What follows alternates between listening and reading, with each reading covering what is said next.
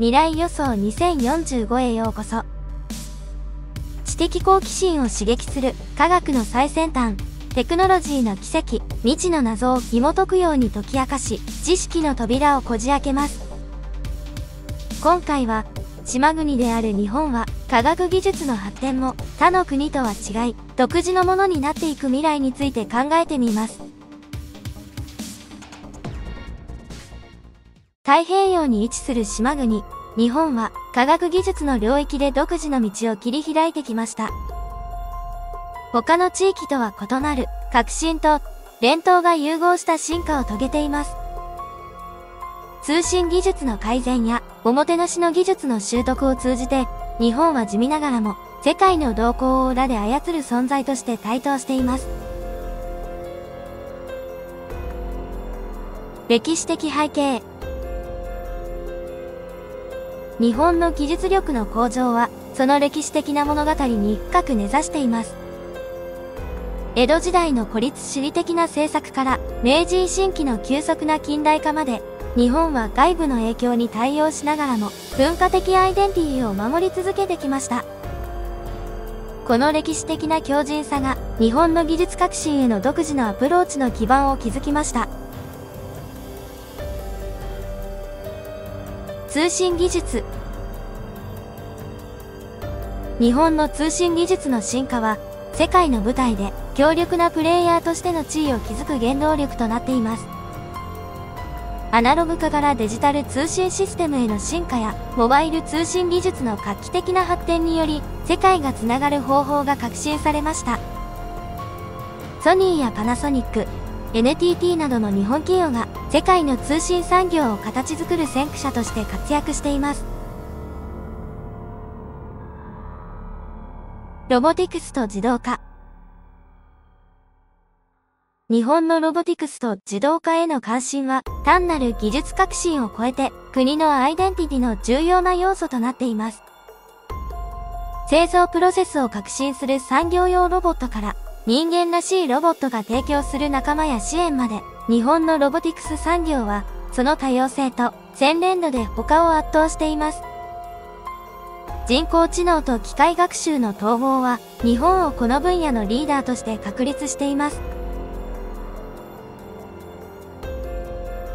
ホスピタリティとおもてなし、技術の領域を超えて日本のおもてなしの技術であるおもてなしのマスタリーは世界の認識と相互作用を形成する戦略的なツールとなっています。おもてなしは単なるカスタマーサービスではなく誠実さと優美さで他者のニーズを予測し満たすという深いコミットメントを体現しています。この文化的な精神は観光やホスピタリティからビジネス交渉まで様々なセクターに浸透し、日本の国際的な影響力を高めています。ソフトパワーディプロマシー日本の技術革新と文化的伝統の独自の融合はソフトパワーディプロマシーの効果的な手段となっています。ジェットプログラムや文化交流、技術パートナーシップなどのイニシアチブを通じて日本は国際的な関係を築き、世界中で好意を育むことができます。このソフトパワーのアプローチにより、日本は明確な強制や対立を伴わずに影響力を行使し、国際的な議論を形成します。環境の持続可能性。環境の課題が定義する時代において、日本の持続可能性へのコミットメントは、技術の取り組みの中心に位置しています。省エネ技術やエコフレンドリーな交通手段から、災害に強いインフラまで、日本のイノベーションは効率や機能性を損なうことなく、環境保護を優先します。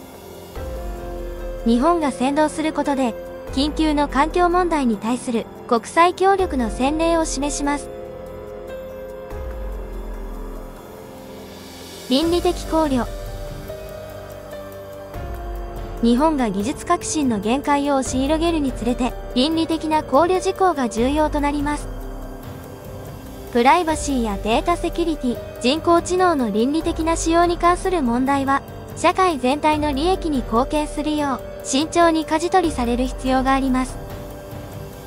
国際パートナーとの対話と協力を促進することで、日本は人間の尊厳を守り、責任あるイノベーションを推進する倫理基準を確立しようとしています。結論日本の技術優位への道のりは、その強靭さ、独創性、文化遺産を示すものです。霧の良い技術と伝統的価値観のシームレスな統合を通じて、日本は世界の動向に影響を与える地味な力として浮上しています。世界が進化し続ける中で、日本の科学、技術、おもてなしの独自のアプローチは、人類文明の織りなす布地に間違いなく深い痕跡を残すでしょう。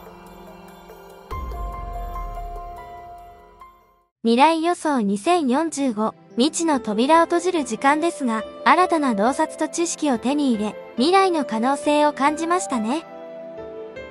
ぜひ、グッドボタンとチャンネル登録をお願いします。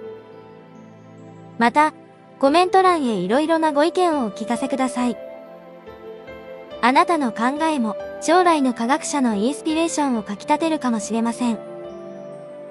興奮と感動を共有できて嬉しいです。次回の動画もお楽しみに。ご視聴ありがとうございました。